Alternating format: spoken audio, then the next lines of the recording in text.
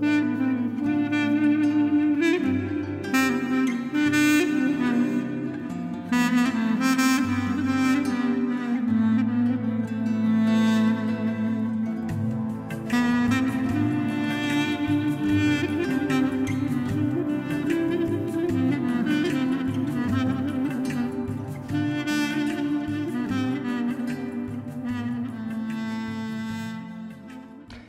Tekrar merhaba. Ee, şimdi bu videomuz e, bir evvelki videomuzun devamı ama e, kendi içindeki devamı değil. Maalesef telefonda e, telefonla çekiyorum ben videoları.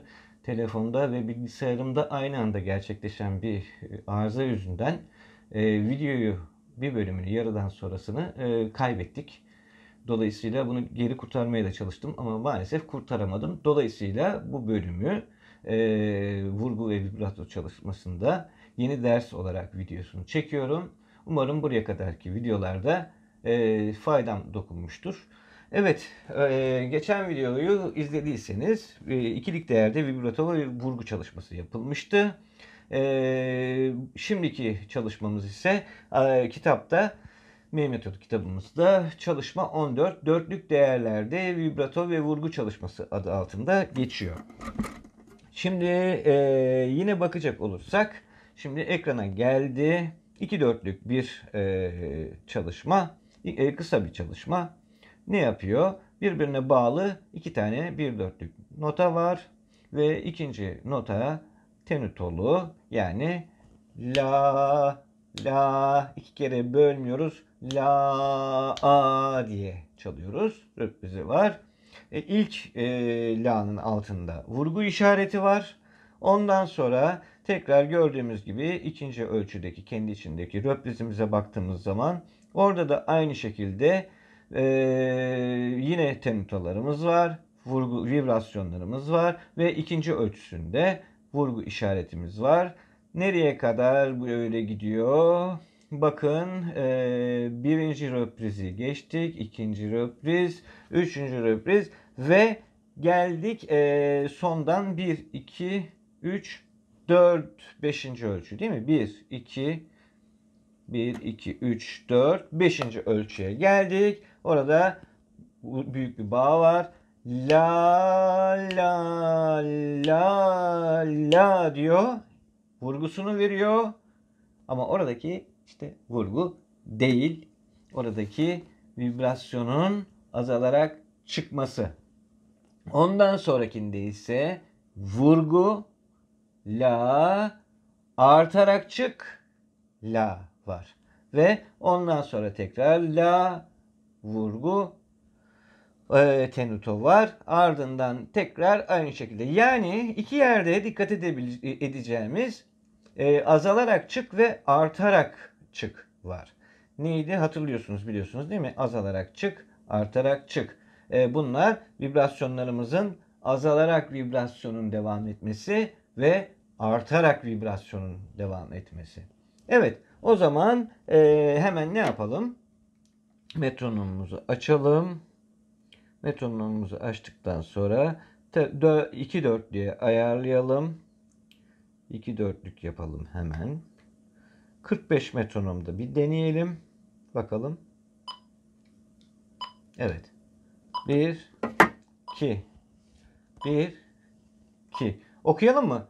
3 4 La la la la Röpiz yaptım. La la la la la la la la la la. Bakın burada tek nota üzerinde çalışıyor zaten. Ee, bunu okumanız çok daha kolay. Buraya kadar bütün notaları öğrendiniz. O yüzden dikkat etmeniz gereken şey nota değil. Dikkat etmeniz gereken şey alttaki üstteki işaretler. Evet kaldığım yerden devam ediyorum. La la vibrasyonluydu. La la la la kesmedim bağ olduğu için. Röpriz la la la la. Şimdi. La la la la. La la la la. La la la la. La la. Döndü. La la la la la la Şimdi benim abartılı olarak ilk vurguları vurduğuma bakmayın. Böyle bir abartı istemiyorum. Onu söyleyeyim. Yani çalışırken bu abartıyla çalışırsanız bu abartı sizi daha sonra çalarken sert çalmaya götürecektir.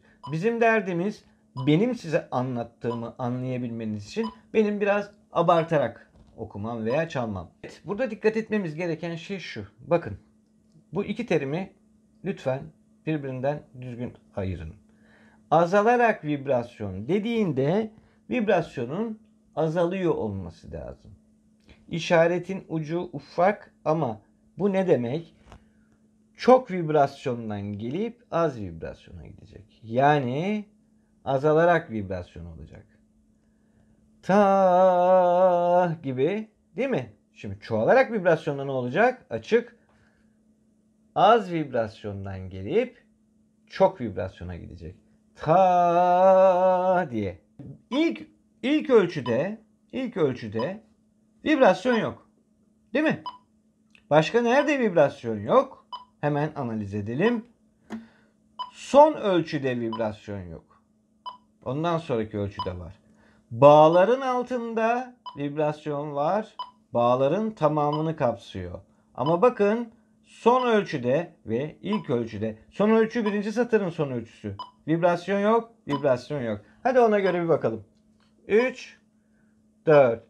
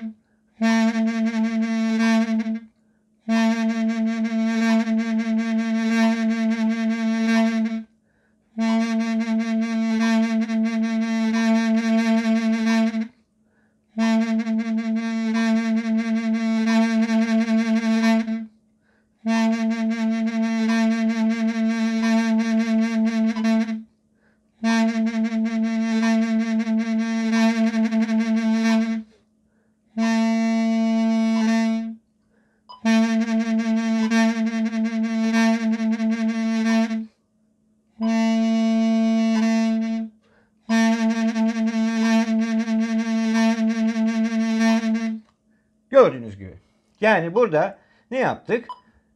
Ee, vurgularımızı düzenlerken fazla vurmamaya gayret ettik. Neydi? Vibrasyonumuzu azalarak vibrasyon yaptık ve artarak vibrasyon yaptık. Şimdi bunu daha da önceki derste de söylemiştim. Şimdi de söylüyorum. Bunlar tamamen sürelerle ilgilidir. Süreler ne demektir? Bir parçanın temposu, hızı. Yani da da da da yaptığınızda bunu bu şekilde rahat yapamayacaksınız. Neden? Çünkü aradaki süre çok sık olduğu için. Şimdi aynı şekilde burada da 45 tempoda olduğumuz için rahat bir şekilde yapabiliyoruz. Bunu ne için öğreniyoruz? Vibrasyonların çeşitleri. Yani daha önce de örnekler verdiğimiz gibi yine şu vibrasyonsuz yavaş vibrasyon değil mi? Bu hızlı vibrasyon. Şimdi azalarak çık. Şimdi e, artarak çık. İyice anlaşıldı sanıyorum. Şimdi aynı şekilde burada 8'lik değerler üzerinde vibrato ve vurgu çalışması var. Bunun adı çalışma 15. Burada e, ne yapıyoruz? Aynı şekilde hiçbir şey değişmiyor. Bakın çabuk geçelim bunları. Bunları metodu elinde olanlar metodundan lütfen sadece okuyup iyice anlayabilmek için tek tek arka arkaya bir daha bir daha bir daha bir daha tekrar etsinler. Bu çalışmanın amacı da size 8'lik değerlerde bir tane notaya, bir vuruşa, metronomun her vuruşuna iki tane e, ekletmek. iki nota ekletmek. Şimdi burada bir hatamız var. En başta bir tane e, azalarak çık işareti var. Ama orada ya unutulmuş vibrasyon yok ki biz gördüğümüzü çalmaya alışacaksak eğer biz buradaki kaldıracağız bu işareti. E, metodu olanlar lütfen metodunda kalemle işaretini koysunlar. Böyle hatalarımız olacak. Bunları birlikte düzeltmiş oluyoruz bu videolar sayesinde. Başkalarına da faydalı olmuş oluyoruz. İki sene test etmeme rağmen insan çok şey bildiği zaman çok fazla yanılıyor. Evet. Şimdi e, bu ölçüde vibrasyon yok. Dolayısıyla azalarak çıktı yok. Şimdi ikinci e, ölçüye baktığımız zaman ne var? Burada bir artarak çık var. Değil mi? Yani la la la la la ama vurmaya devam ediyoruz. Onu da göstereceğim. Ondan sonrakinde vurgu var ve bu şekilde devam ediyor. Şimdi bu çalışmada dikkat edeceğimiz yerler şunlar. Bakın birinci ölçüde e, dedik ki e, 8'lik değerdeki vibrasyon çalışmasında birinci ölçüde neyimiz var? Burada vibrasyonumuz e, yok. Şimdi çalalım ve dikkat edelim. Burada olmayan yerlerde vibrasyon yapmayacağımızı demin söylemiştik. Evet. Bakıyoruz. 4.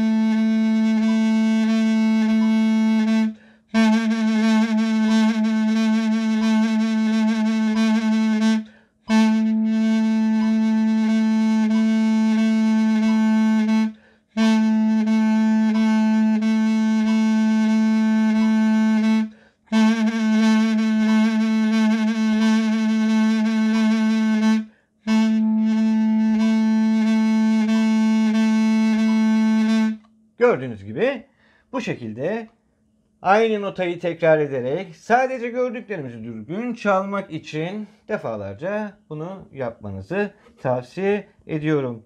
Aynı şekilde şimdi noktalı ikili yani çalışma 16'ya geçiyor. Noktalı ikilik, dörtlük ve sekizlik değerlerde vibrato ve vurgu çalışması. Evet burada ne yapıyoruz? Noktalı değerleri zaten biliyorduk. Bir notanın arkasına gelen nokta kendi değerinin yarısı kadar o notayı arttırır. Yani 2'nin önüne, 2 dörtlük notanın önüne yani arkasına bir nokta gelirse oradaki 2 dörtlüğün yarısı 1 dörtlük edeceği için ne yapar? 3 dörtlük yapar. Demek ki bu şekilde burada da zaten 3 dörtlük e, bir çalışma verilmiş. Hemen metronumuzu 3 dörtlüğe ayarlayalım. Ve bunu bir analiz edelim. Ne varmış ne yokmuş. Ee, bakalım.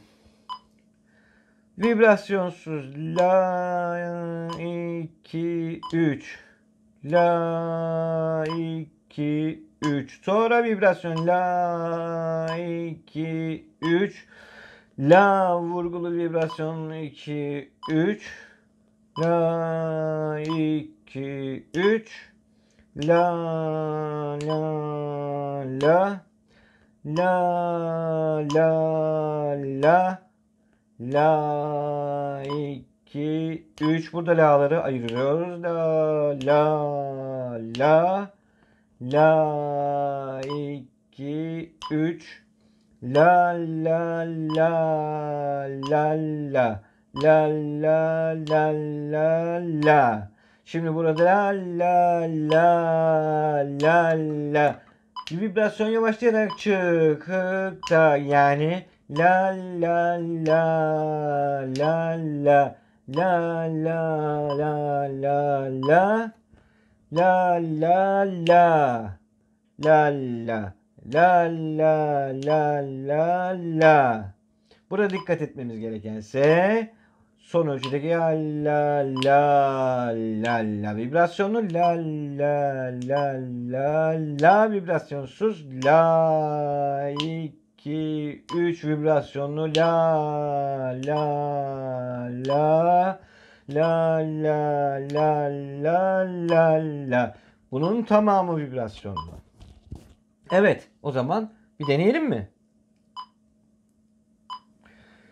Şimdi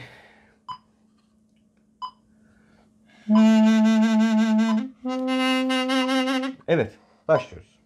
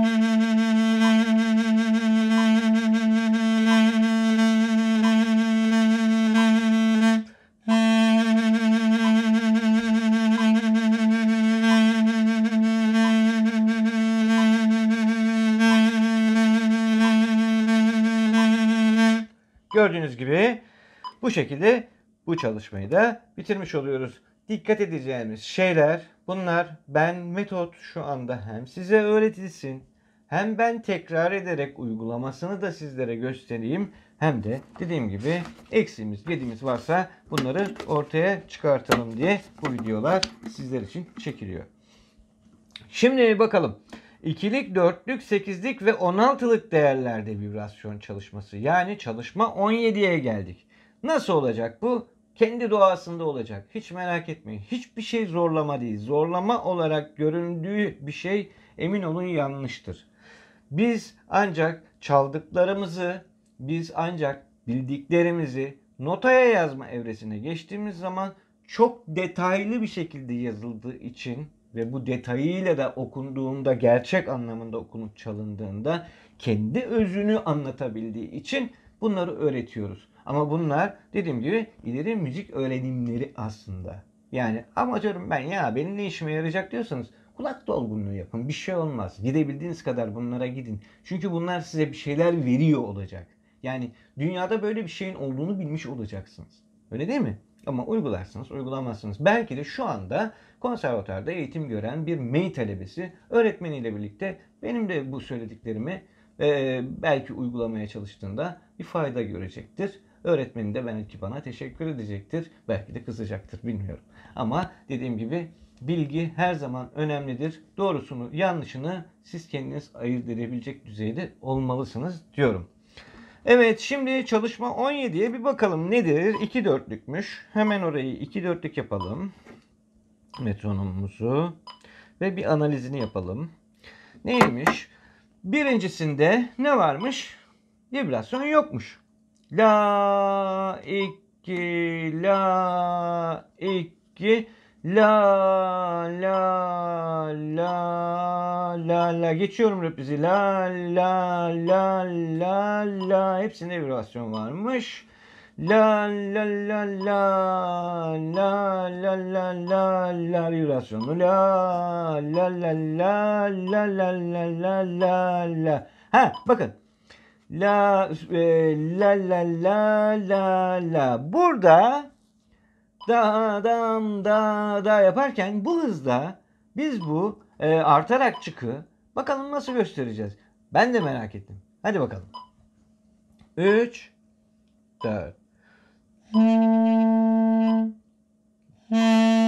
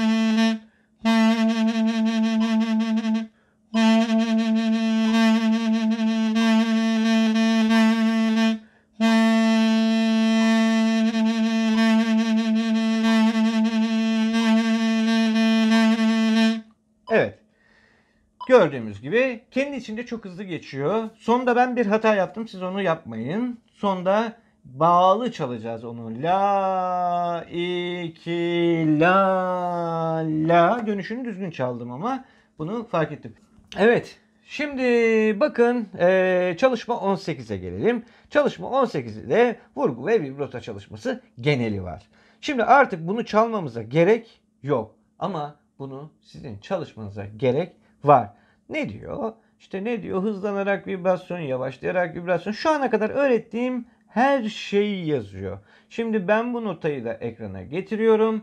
Metodu olmayanlar lütfen bunun fotoğrafını çıktısını alsın. Biraz bulanık ama işinizi mutlaka görecektir.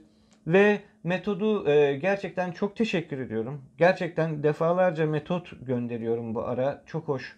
E, demek ki meraklısı çok fazla. E, bana ulaşacaksınız biliyorsunuz. Nereden ulaşacağınızı biliyorsunuz. Ben yine de şu anda yazıyı geçiriyorum alttan. E, bana bu adresten ulaşın ve Instagram'dan Yaşar Taner diye ulaştığınız zaman ki genelde öyle ulaşmaya başladılar.